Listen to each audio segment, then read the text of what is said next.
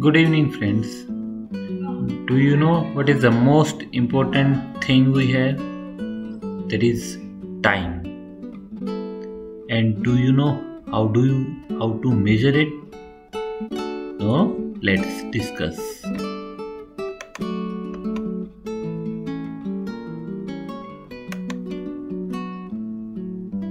So, one year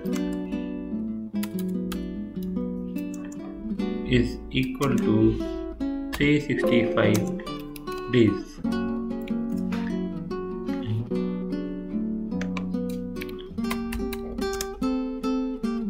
And,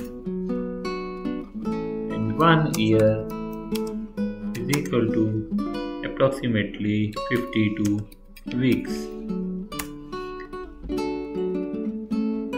One week is equal to 7 days.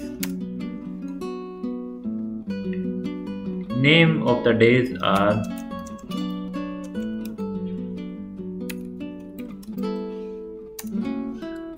Sunday, Monday, Tuesday, Wednesday, Thursday, Friday, Saturday.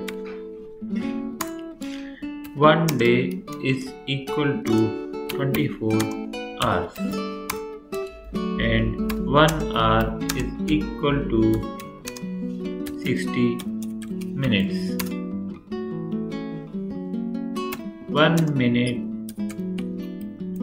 is equal to 60 seconds.